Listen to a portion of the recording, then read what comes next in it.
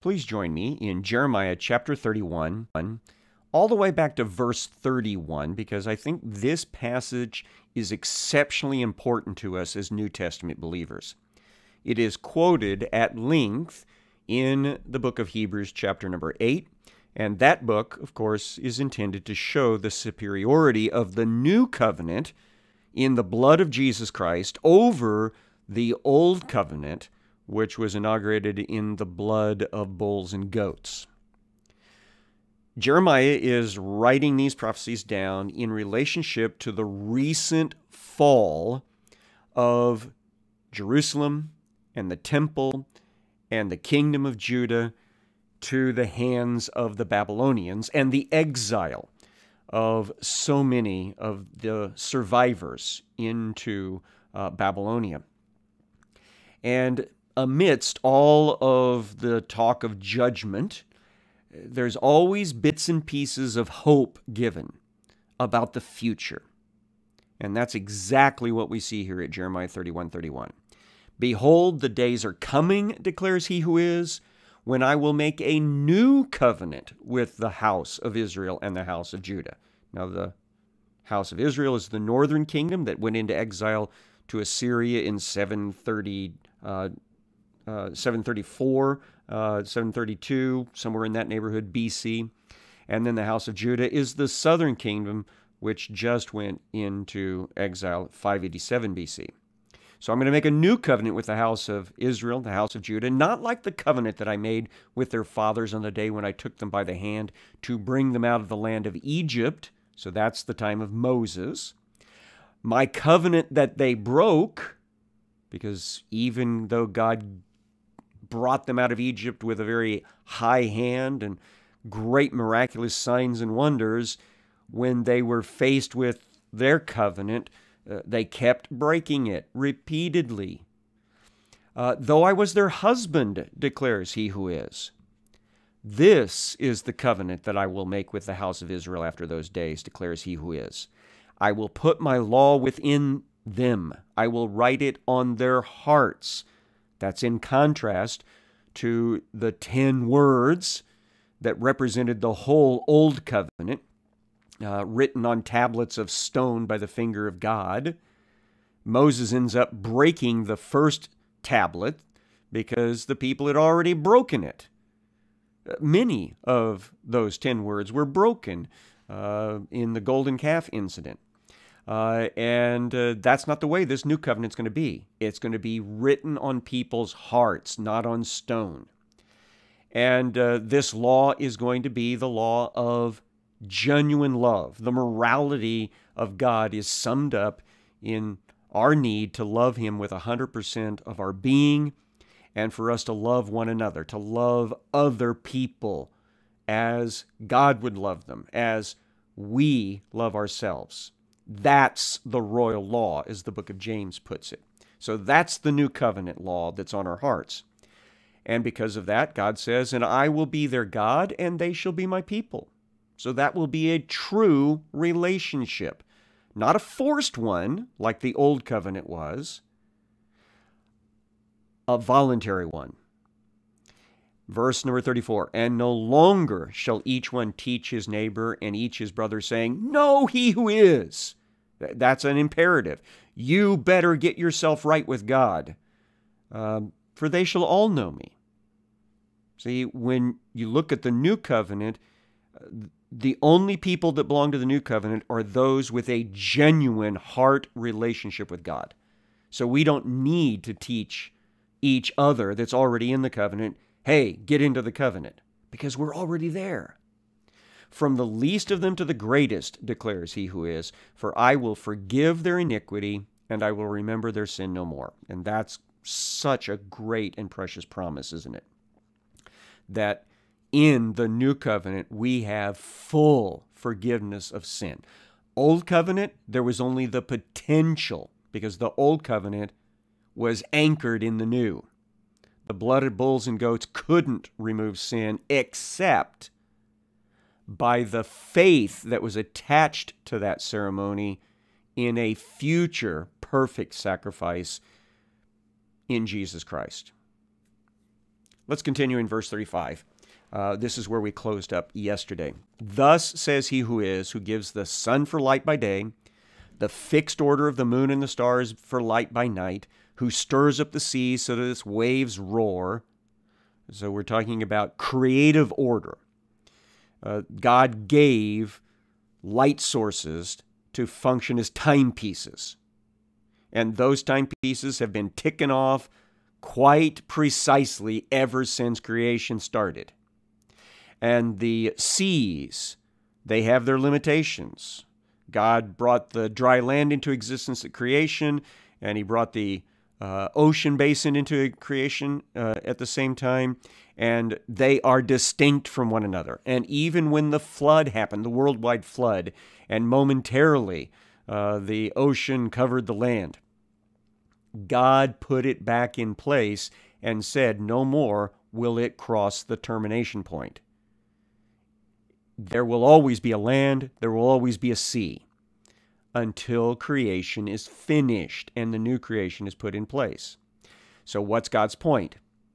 He who is of the hosts is his name. If this fixed order departs from before me, declares he who is, then shall the offspring of Israel cease from being a nation before me forever. So God is basically saying, yes, you might see great disaster happening at this moment with northern Israel already gone into Assyrian captivity, southern Israel going into Babylonian captivity. The land of promise is being emptied of its people. The cities are being destroyed. The capital city is nothing but ruins, and the temple is gone. You may think this is the end, but it's not. God promises there will always be an Israeli people. Always. Doesn't matter what Haman tried to do during the time of Esther, God would not have allowed him to annihilate the Jews. Doesn't matter what Hitler did in our more modern time, God would never have allowed him to annihilate the Jews. Because God's promise is clear here in black and white and empowered by his name. They will never cease to exist as a people group. Verse 37 Thus says he who is, if the heavens above can be measured, and the foundations of the earth below can be explored, then I will cast off all the offspring of Israel for all that they've done, declares he who is. So God says, it's not going to happen. It is a fixed fact that there will always be an Israeli people group. And as Paul makes pretty clear in Romans chapters 9, 10, and 11, God will always be interested in what's going on with that people group. Verse number 38 Behold, the days are coming, declares he who is, when the city, that's the city of Jerusalem, freshly destroyed, as Jeremiah is writing this down. When the city shall be rebuilt for he who is from the tower of Hananel to the corner gate, doesn't really matter for our purposes to know exactly where those places are. Uh, just know that it's going to be rebuilt. And the measuring line shall go out farther, straight to the hill Gareb, and shall be uh, then turned to Goah, the whole valley of the dead bodies and the ashes, which that's probably a mention of the mass grave that happened with all the dead bodies collected after the destruction of the city. And all the fields as far as the brook Kidron, uh, the Kidron brook runs along the eastern side of the Temple Mount and Old Jerusalem, the city of David, south of the Temple Mount. So, all of that area to the corner of the horse gate toward the east shall be sacred to he who is. It shall not be uprooted or overthrown any more forever. Now, the moment we hear those words, we know that this pushes past the rebuilding of the city of Jerusalem in the time of uh, Zerubbabel and uh, high priest Joshua and Ezra and Nehemiah, because that city was also destroyed in AD 70 and the temple uh, was also destroyed uh, in AD 70. So that couldn't be the one that's being referenced here.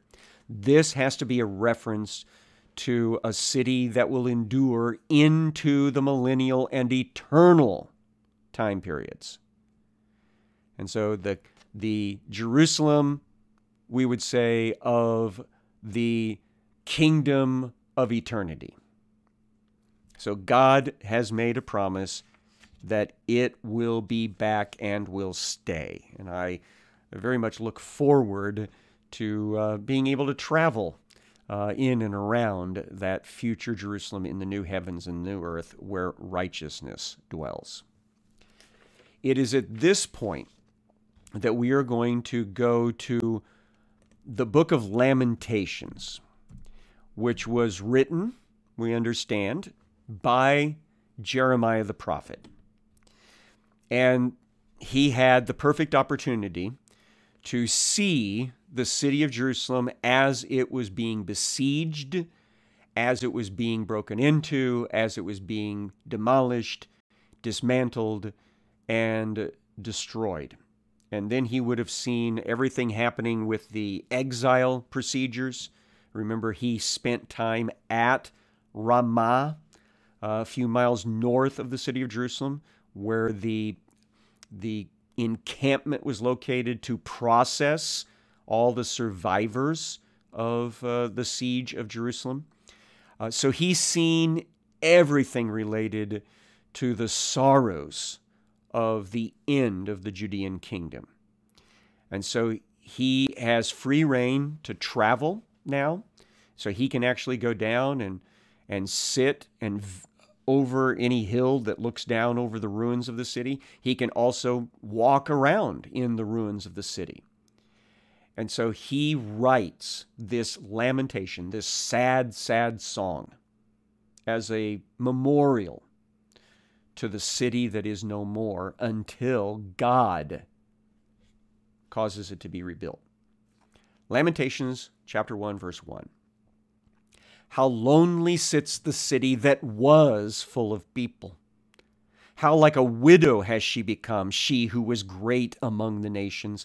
She who was a princess among the provinces has become a slave. Lots of little similes here. She used to be full, now she's empty. She was like a great woman, proud and uh, uh, well known in the nations, but now she's a widow a pitiable figure. She was once a princess of all the provinces, but now she's been turned into a slave. Verse 2 She weeps bitterly in the night with tears on her cheeks. Among all her lovers, she has none to comfort her. All her friends have dealt treacherously with her, they have become her enemies.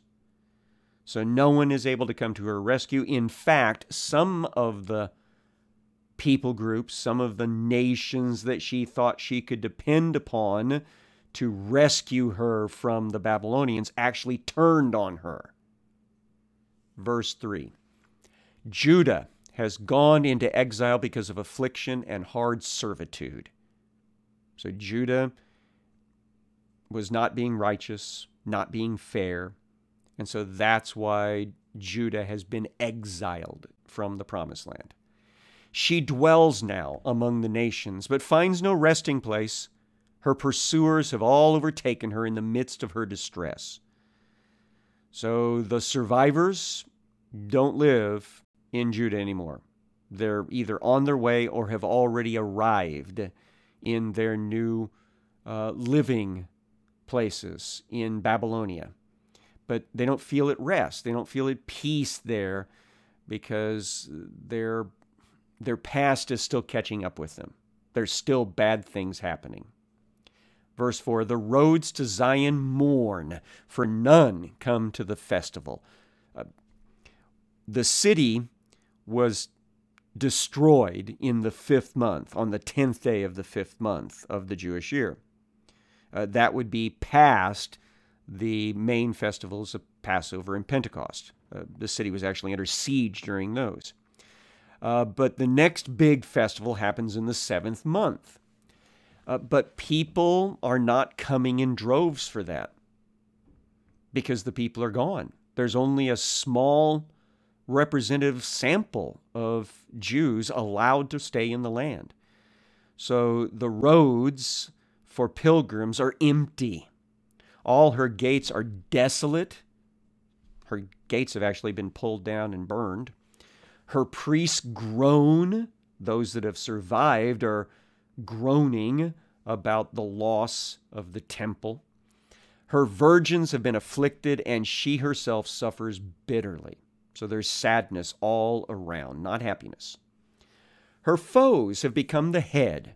Her enemies prosper, because he who is has afflicted her for the multitude of her transgressions. Her children have gone away captives before the foe. There's going to be reminders throughout this book that this didn't happen randomly. This is not some sort of plot by evil people against a righteous people. This is the judgment of God, long ago announced, against a sinful people of Israel. That's why they're going into exile. From the daughter of Zion, all her majesty has departed. Her princes have become like deer that find no pasture. They fled without strength before the pursuer. Now, we all have seen deer running away uh, because we disturbed them. But these deer are running away because there's nothing to eat. They keep running and running and running and running because they'd have nothing to sustain them. And that's the exile experience. Jerusalem remembers in the days of her affliction and wanderings all the precious things that were hers from days of old. When her people fell into the hand of the foe, and there was none to help her, her foes gloated over her, they mocked at her downfall. So everything's changed. Uh, they can reminisce all they want about the good old days, but this is the bad present. They are being mocked uh, for what's happened to them. Jerusalem sinned grievously, therefore she became filthy. Make no bones about it. There is a direct one to one correlation between the sin of Israel and the judgment of God against Israel. All who honored her despise her, for they've seen her nakedness. She herself groans and takes or turns her face away. So she is like a a woman that has been publicly caught in cheating on her husband, and now she's bearing all of the community's shame for that. Uh, her uncleanness was in her skirts. She took no thought of her future, and therefore her ter- her fall is terrible. She has no comforter. So God is divorcing her in a public ceremony. Oh, he who is, behold my affliction, for the enemy has triumphed. Every once in a while, we have this, this exclamation that pops up uh, of the, the nation of Judah crying out because of the horrible things that have happened to her. Verse 10 The enemy has stretched out his hands over all her precious things for she has seen the nations enter her sanctuary, those whom you forbade to enter your congregation. Uh, the survivors have had to endure watching non Israelis enter the shrine building and dismantle its sacred components and carry them away to be used for whatever it is that Babylon wants to use them for. Uh, those are places that the Mosaic Law said that non Israelis were not supposed to go. Even common, ordinary Israelis were not supposed to cross over certain points to enter into the shrine building. And so part of the punishment is they have to watch as the temple is violated. All her people groan as they search for bread. They trade their treasures for food to revive their strength. We know that this is a normal thing that happens in sieges.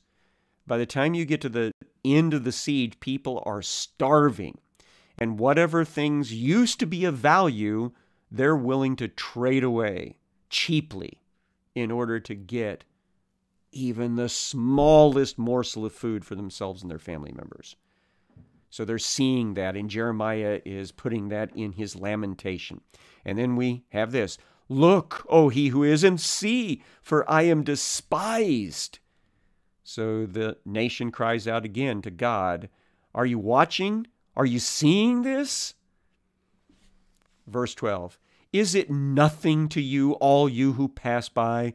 Look and see if there's any sorrow like my sorrow, which has been brought upon me, which he who is inflicted on the day of his fierce anger. So, has anyone ever had this sort of desolation inflicted on them before? From on high he sent fire into my bones. He made it descend. He spread a net for my feet. He turned me back. He has left me stunned, faint all the day long. And all this is true. All this is an acknowledgement that this is from the Lord. This is from God. It's His punishment for their sin. Verse 14 My transgressions were bound into a yoke. By my hand they were fastened together. They were set upon my neck. He caused my strength to fail. He who is, or the Lord, gave me into the hands of those whom I could not or cannot withstand. a yoke is for an animal, and in this case, the sins of Judah have been turned into a yoke and placed on Judah's neck, which should remind you Jeremiah went for a while wearing a yoke and saying, You either need to take on the yoke of Babylon by your own free will, or God will force you to wear the yoke of Babylon. So in this case, it's the yoke of sin that God has placed upon Judah. And um, that involved being handed over to the Babylonians. Verse 15 uh, The Lord, he who is rejected all my mighty men in my midst, all the military. He summoned an assembly against me to crush my young men, which again, military is often made up of the youngest men, uh, adult men in a, in a uh, group. Uh, the Lord has trodden as in a winepress the virgin daughter of Judah. Uh, Book of Revelation also pictures uh, God treading the winepress of his wrath. Uh, it's actually where we get the term grapes of wrath uh, from the book of Revelation. So here, Jeremiah is, is picturing God stomping out the grapes of his wrath against the virgin daughter of Judah. Uh, for these things I weep. My eyes flow with tears, for a comforter is far from me, one to revive my spirit. My children are desolate, for the enemy has prevailed. So, a lot of crying. Uh, it would have been better if it had come earlier and been genuine repentance, but at least there is some sorrow and acknowledgement that this is coming because of sin. Verse 17 Zion stretches out her hands, but there is none to comfort her. He who is has commanded against Jacob that his neighbors should be his foes. Jerusalem has become a filthy thing among them. He who is is in the right, for I have rebelled against his word. Very important, that sort of confession.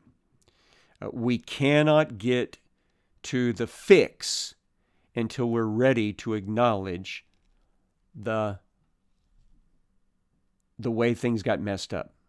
That we are the ones that sinned, and that's why we need the Savior. And so here is Jerusalem, here is Judah being portrayed as confessing that God is in the right and that they were in the wrong. But here, all you peoples, see my suffering. My young women, my young men have gone into captivity. So bear testimony, bear witness to my testimony that I brought this on myself, the exile. I called to my lovers, but they deceived me. My priests and elders perished in the city while they sought food to revive their strength. So Jerusalem had tried to reach out to other nations and allies around them uh, but it was too late. And those places played them for the fool. And so priests and elders, which used to be the leaders, uh, in the spiritual and political matters. Uh, they are starving to death during the siege and in the uh, in the aftermath of the city being taken. Oh, he who is, for I am, look, oh, he who is, for I am in distress.